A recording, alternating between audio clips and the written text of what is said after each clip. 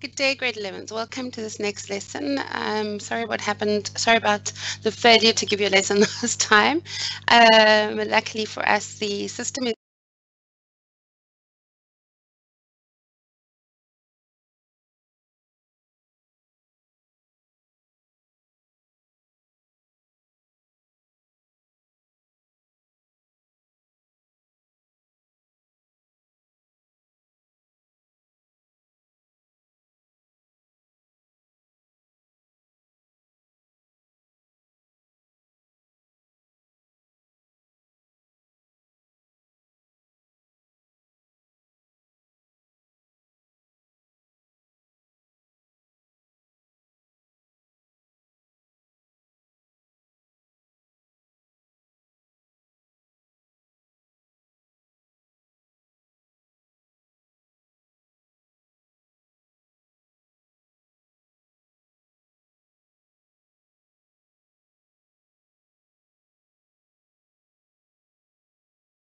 Sorry, I just realized my mic was off. I don't know how long the mic's been off. So let me start again by saying that we are going to be looking at finance and we're going to be looking at interest that is a little bit more interesting than just the compounded annually like we've been doing.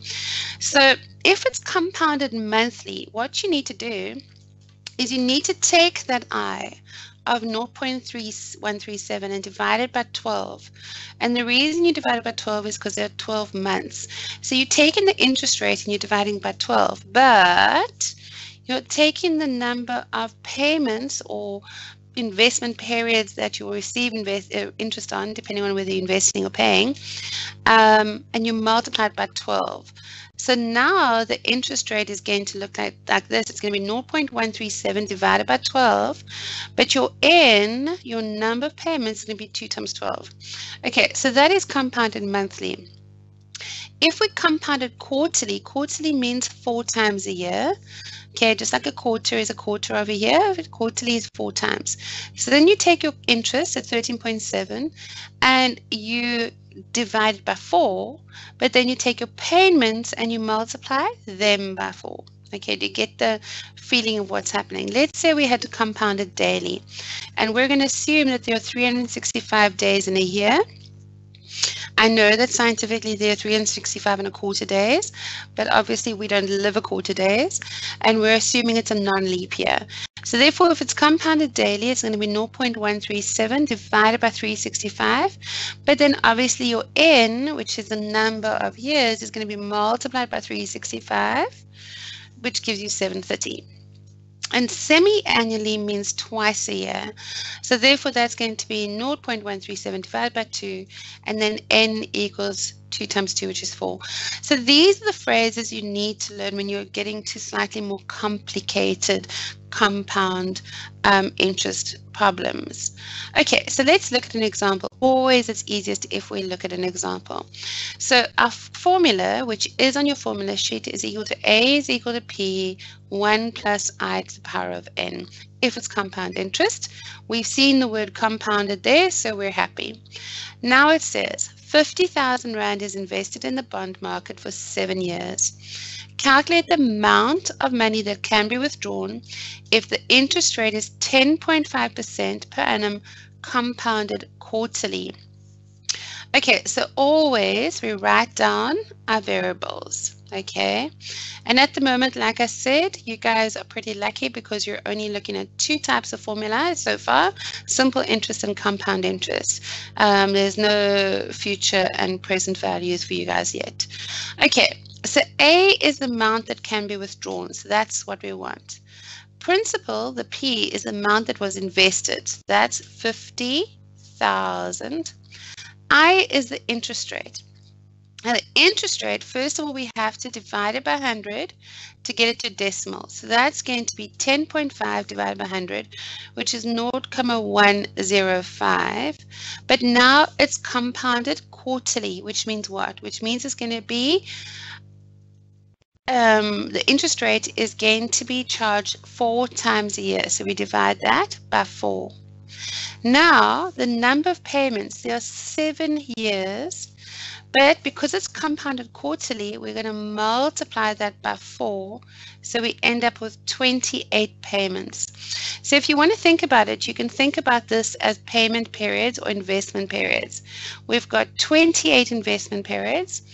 Every quarter, so for each year, um, the interest is basically divided by 4 for each of the quarters of each year. Okay, so we're going to go A is equal to 50 thousand one plus 0.105 over 4, but all to the power of 28. Okay, so now we need to get out our calculator and we need to switch it on and we go 50, 1, 2, okay, it's 50,000 already, multiplied by 1 plus plus a fraction 0.105 all over 4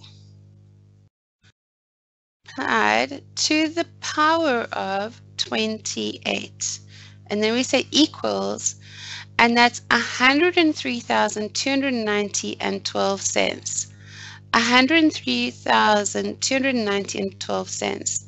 So that's 103,290 and 12 cents. That is not a bad return of investment for seven years. You're getting out double what you invested in the first place, a little bit more than double. Okay, so now do you start getting an idea of how we use this compounded quarterly? Let's look at simple depreciation and then we'll talk about compound depreciation. So simple depreciation is also known as straight line depreciation. So effectively it is the inverse of simple interest. So depreciation occurs when an asset loses value, okay, over a period of time. So you use the simple interest formula, A is equal to P, 1 minus in. So it's exactly the same as a normal central simple interest formula, but the simple interest formula, the simple interest formula is A is equal to P1 plus in. The depreciation one is 1 minus in because obviously it's a losing value. So A is the amount that you're going to be able to sell the asset for at the end, okay, or that you'll get out. P is the principal, which is the amount of money you would have paid for the asset. I is the interest in decimal form, and N is your number of years, the number of years. Okay, so let's look at an example. And now remember that again, we are talking about simple interest and simple depreciation. So for that reason, we don't have to worry about these funny ends and everything, and it's just going to be per annum, okay? So we've got the formulas A is equal to P, 1 minus IN. Okay, a car is valued at 185,000, okay? It depreciates at 12% per annum using straight line depreciation, which is simple, simple depreciation. Calculate the value of the car after seven years. Okay, so again, A, P, I, and N. A is what we want. We want to know what we would get out for this car. P is your principal, which is the amount of money the car is currently valued at, which is 185,000. Your interest is 12%, okay, per annum. So that is just going to be 0.12. And because it's simple or straight line depreciation, your N is just 7. So we can pop that in our calculator after writing out our equation. We've got 185, 1, 2, 3, multiplied by 1 minus 0.12 multiplied by 7, close the bracket. Okay, so let's get our calculators out and we can clear it and we can go 185, 123 multiplied by 1 minus bracket 0.12 multiplied by 7 close bracket for that one close bracket for that one equals 29,600. So this car is going to be worth 29,600. So effectively what you could say is that the book value, if this is a depreciation based on it, the book value of the car would be 29,600 Rand after seven years. So what does that mean? That means that the car that's currently valued at 185,000 Rand will effectively you'll be able to sell for 29,600. Okay, obviously it's a little bit more complicated than that because it depends with cars, especially um, it depends on the type of car because different cars have different depreciation and the wear and tear and if you've kept it looking nice, okay?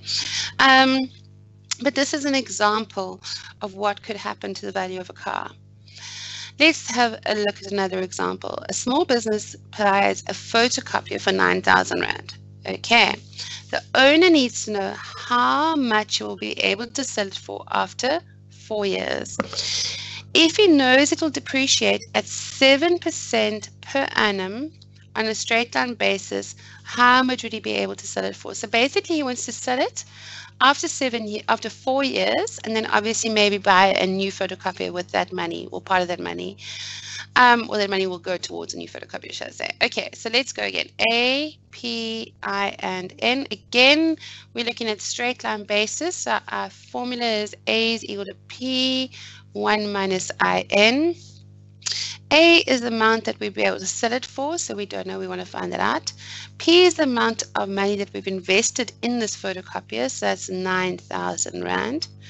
The interest is 7%, so it's going to be 0,07 when we change it to decimal. And the number of payments in this case is 4. So therefore A is equal to 9123, 1 minus 0,07 times by 4, close bracket. Okay, so let's pop that in our calculators.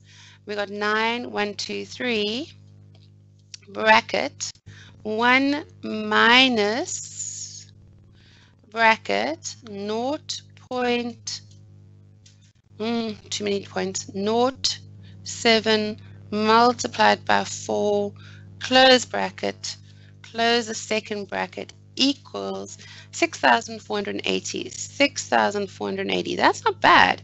So he'd be able to sell this um, photocopier for 6,480 and that would obviously go towards a new photocopier, whatever equipment he needs. Right. Now let's talk compound depreciation. So this is exactly the same again as compound interest, except that it's got a negative and it's also known as, and you need to know this phrase, the reducing balance depreciation. So we've got straight line depreciation, which is the simple interest, makes sense, and reducing balance depreciation. Okay, so the formula is, like I said, exactly the same as a compound interest, except it's got a minus instead of a plus. So you guys got to be careful because the formula sheets, as far as I know, only have the compound interest and the simple interest formula. So obviously you need to make sure that when you are doing the depreciation, you use the minuses. And again, A is your amount, P is your principal, I is interest, and N is number of years. And we've spoken about compound. In this case, we're just looking at possibly looking at per annums again. Um, and then obviously we'll get a little bit more complicated. So the number of oyster catches in the Western Cape is decreasing at a compound rate of 15% per annum. Okay, just to let you guys know, in case you don't, oyster catchers are a bird okay? And they obviously catch oysters. They don't only catch oysters but um, they're known as oyster catchers. So the number of oyster catchers in the western cape is decreasing by a compound rate of 15% per annum which is quite scary. There are currently 5,600 oyster catchers in the western cape. What will the population be in three years Okay, so we know that we are doing compound depreciation. So our formula is equal to A is equal to P, 1 minus I to the power of N. Okay, we want A, that's what we want, is how many there'll be after five, three years. P is what we started with, which was 5,600. I is the interest rate, and it's going to be in decimal, so we divide by 100. And N is 3. So A is going to be 5,600, 1 minus 0.15 to the power of 3. Um, so let's have a look. So we clear it and we go 5, 6, no, let's clear it again, 5, 6, 0, 0 multiplied by 1 minus 0.15 bracket all to the power of 3 equals 3,439.1. Well, obviously you can't have 0.1 of a bird. So therefore it's going to be 3,439 birds left. So it's 3,439 birds, um, oyster catchers. And that's actually quite scary, which is why they are a protected species. Okay.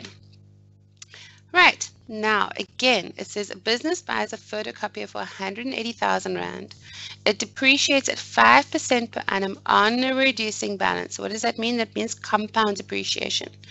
What is the value, of the photocopier after four years? Okay, so if you're watching this live, I really hope that you guys, well, when you read this, I want you to be a little bit ahead of me. You should have read it, okay? Business buys the photocopy for 180,000, depreciates at 5.7% per annum on a reducing balance. What is the value of the photocopiers? So while I'm reading, you also need to be reading, but you need to be studying the problem so that you can be a little bit ahead of me and let, unless you don't know what to do, in which case follow, obviously. But if you think you know what to do, get a bit ahead of me.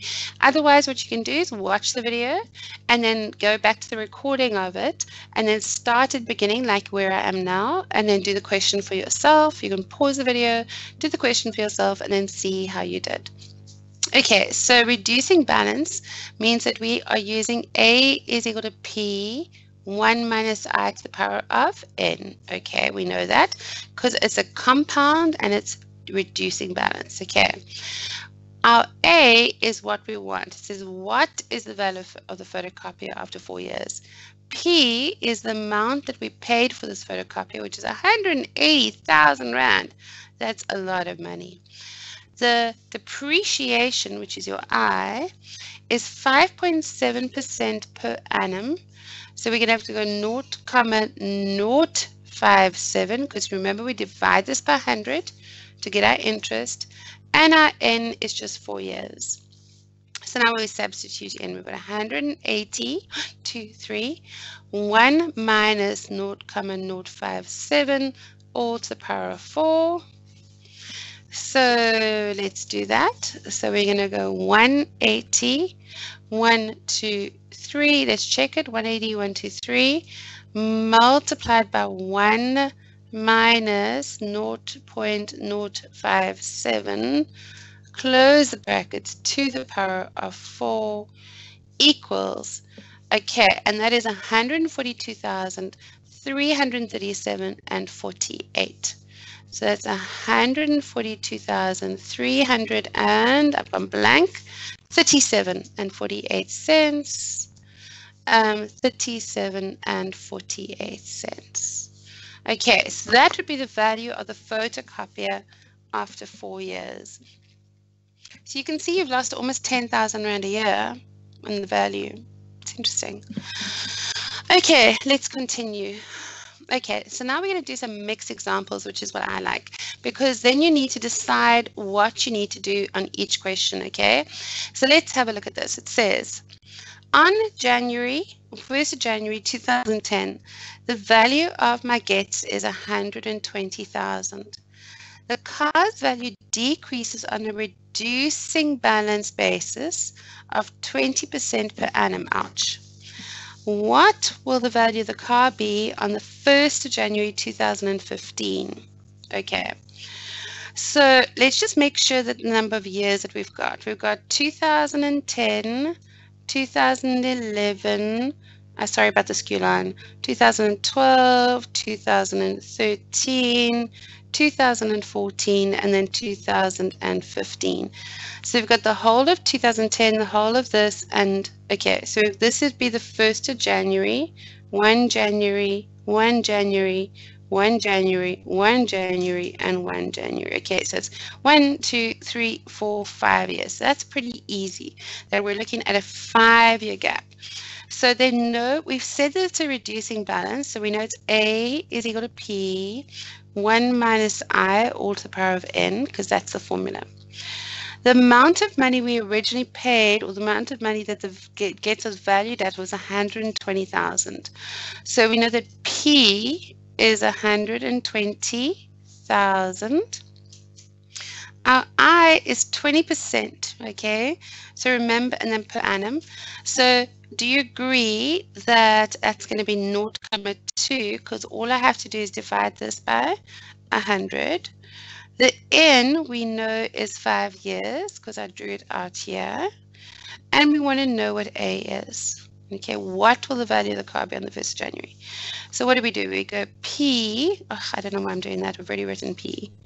So let's, oh, we raise link. Okay, it's fine. A is equal to P, 1 minus I to the power of N. The principal we said was 120,000. 1 minus I, which is 0, comma 0,2, to the power of n, which we said was five years. Okay, so all we need to do now is get out our calculator. So this is 120, 123, 120,000 multiplied by 1 minus 0.2 close bracket to the power of 5 equals and that's 39,321 Rand and 60 cents. Sure, that's seriously reduced in value. 39,321 39,321 and 60 cents. That has seriously reduced in value in the five years. Right, let's have a look at another question. It says, after four years, the value of a computer is halved. Assuming simple decay, so that's simple depreciation, what is the annual rate of depreciation? Okay, so do you agree that for simple depreciation, we're using A is P equal to P 1 minus IN?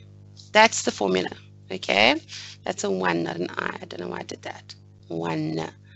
Okay, now we've got A, P, I, and N. And it says the only thing we've definitely got is that this is 4. But do you see that they've said that the value of the computer is halved? And I showed you a trick for this. We're going to let the, orig the original value be 2x. Then do you agree that the amount out is now x because that's halved? You could have been to a and a, doesn't matter what values, variables. But the point is that the the amount out is half the amount that we started with because that was this is x and it's 2x and we want i. So do you agree now our formula reads something like this? It reads, our equation reads x is equal to 2x 1 minus 4i. Okay, I've just swapped the n and i because it's easier to write. So what can we do? We can divide both sides by x okay? If you do it like that, you might just cancel the x's. So let's not do it like that. Let's rather do it like this. Oh, don't do that. Let's do this. Let's divide both sides by x. So you can see what I'm doing. If I do that, x divided by x is 1 is equal to, and x divided by x is goes away, 2, 1 minus 4i. Okay? So what I could do is times out this bracket. So it becomes 2 minus 8i is equal to 1, right? So do you agree then I can just solve for i? So we're going to take this across. It becomes 1 minus 2 is equal to minus 8i. So minus 1 is equal to minus 8i. So therefore i is equal to 1 divided by 8, which is, if we take our calculators and we go 1 divided by 8 equals 0.125. That is 0, 0.125, which is 12.5% interest. There you go. And no, grade 11s, you don't need to write all the steps, okay? But I have done it nice and slowly so you can see what I did and so that you don't can see that how to be careful of making careless errors, okay? So please be careful of doing this. Um, I worry that a lot of my students do this, they go 2x and they go cancel, cancel, then they go equals naught. That's not. You're effectively dividing by x. That equals 1. So rather write it like, like this if you think you're going to make that error, okay? If you're confident that you're not going to ever make that error, then that's fine. You can just cancel. Otherwise, divide properly. Right, let's carry on. Alfredo bought a washing machine at the beginning of 2010 for 3,300 Rand and he sold it at the end of 2013 for 1,800 Rand. Hmm, not bad. It says, at what rate did the washing machine de depreciate, assuming compound depreciation? Okay, so we've got A is equal to P, 1 minus I to the N. It's compound depreciation, so it's this formula with a minus because it's a depreciation. Okay, this time we've got that started with 3,300, right? We've got the principal is, mm, I'm wrong, darn it. We started, we started with uh, 1,800. Sorry, let's try again. We started with 1,000. Oh, I'm, I'm really going to get there. Sorry, guys. Um, jeez. Sorry, just irritated. Okay, right. The principal is the amount we start with, which is 3,300. The amount we get out is the amount that Alfredo sold it for, which is 1,800. Okay. The Interest rate is what we want. And first of all, we need to work out the number of years. So let's just write it out again. We start at the beginning of 2010. He bought at the beginning of 2010. And we're going to the end of 2013. So it's 2010 to the end of 2010 is one year. To the end of 2011 is two years. To the end of 2012 is three years and to the end of 2013 is four years. So it's actually the four years, one, two, three, four, because it's to the end of 2013 from the beginning. You guys have got to be careful of little things like that that are tricks. So N is four years.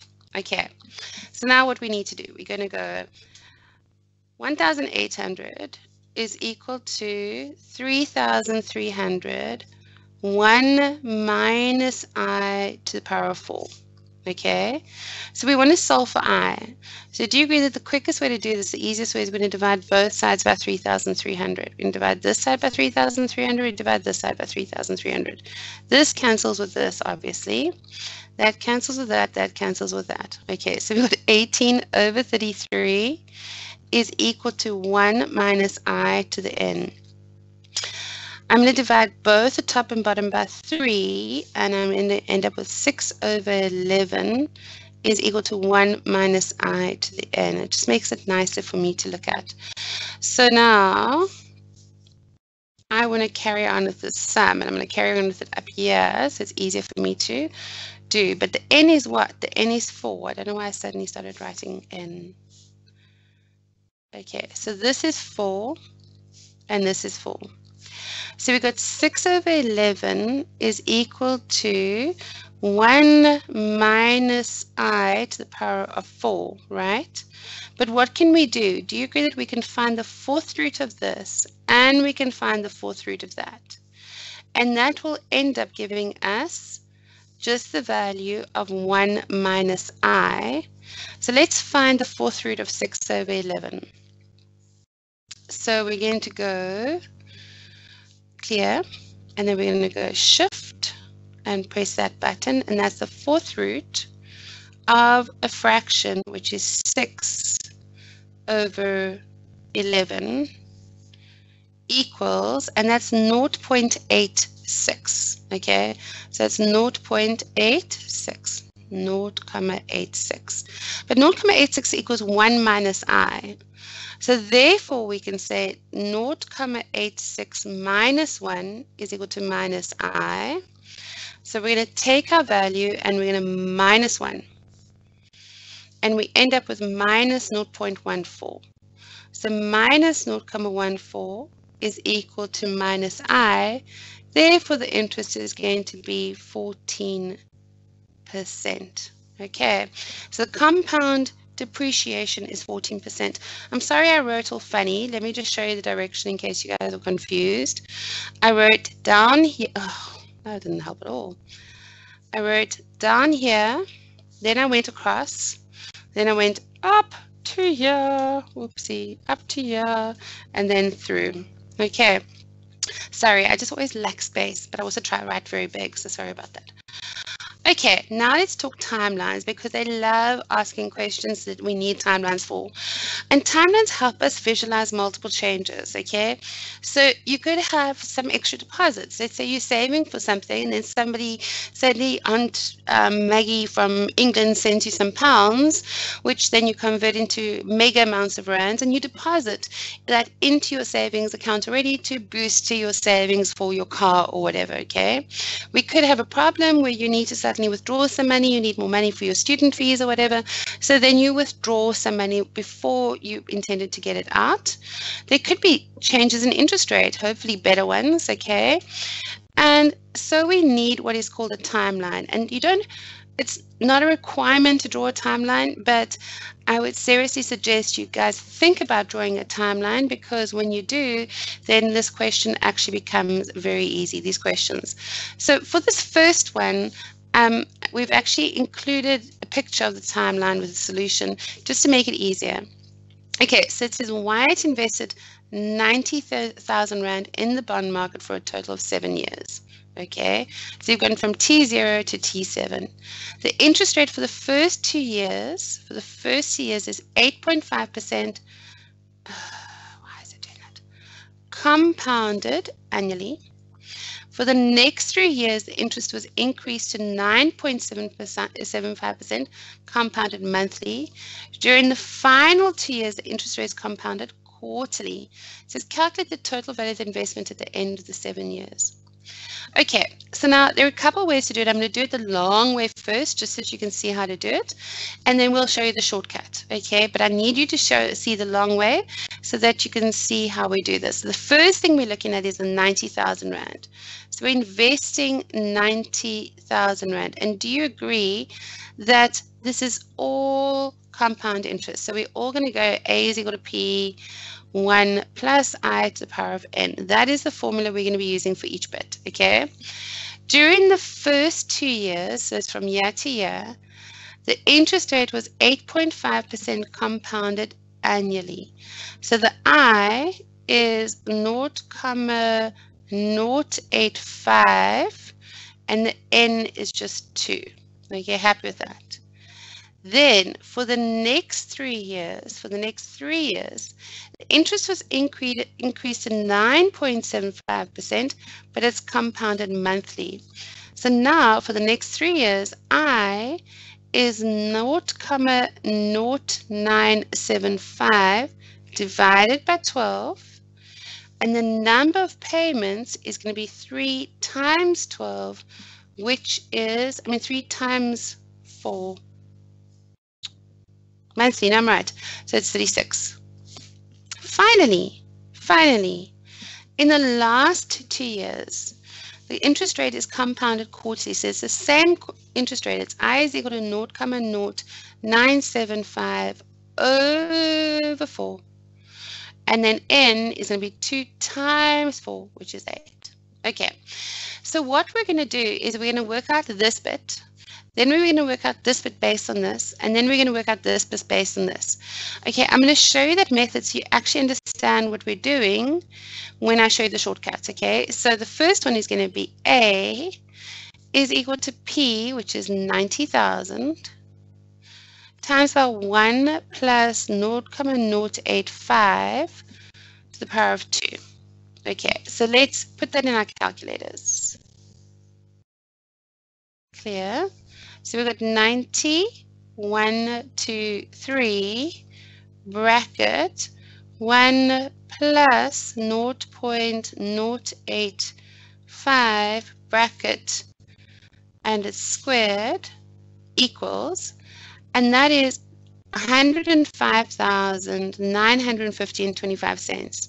105,950 and 25 cents. That's 105,950 and 25 cents. Now what you need to understand is that is the principal for this. That equals the principal for this section because that is the amount of money we're going in with. So therefore A here is going to be P 1 plus, well let me just write down the principal then, eraser. So it is 105,950 comma 25 times by 1 plus this bit here, which is 0 comma 0975 all over 12 all to the power of 36. Okay, and that is equal to what? So let's go and do that on our calculator. So we're going to take the 105,950 and 25 cents and we're going to multiply it by 1 plus 0.07975, sorry, delete 9, 5 all over 12 bracket to the power of 36 equals, and now we're at 141,781 and 59 cents. 141,781 and 59 cents. Okay, and 59 cents. So that's what we're at at the moment. Now this again, that is the principal for this bit. Okay, it's the principal for this bit. So if we then write this out and we do it over here, A is equal to 141,781, comma 59. There's a reason writing this all down here. Comes 1 plus 0, comma 0975 all over 4, all to the power of 8. So let's do that on our calculator. So I'm going to clear this and make it exactly like the rounded numbers. 141 781.59 multiplied by bracket 1 plus 0.0975 all over 4. Um, no, let's delete that. Um, to the power of 8 equals, and that's 171,000 171,000. Oh, didn't even look at the rest number. 906 and 23 cents. 906 and 23 cents. So that is the total amount that you should get, Wyatt should get out at the end of the seven years. 171,906 and 23 Rand. Okay, fair enough. But now there's a shortcut. Okay, and I want to show you the shortcut. So basically what I'm saying to you is that what I'm going to be saying to you is that this bit here is all multiplied. Do you agree that this is equal to this? Okay, so instead of writing this bit, 105,950 and 25 cents, I could actually write 90,000 multiplied by 1 plus 0. Pretty. 0, comma 0.85 squared multiplied by 1 plus 0, comma 0.975 over 12 to the power of 36. Okay, so what I'm saying is that if you look at this purple section, do you agree that this bit here, the 105,950 cents, is exactly the same as this? It's the same thing.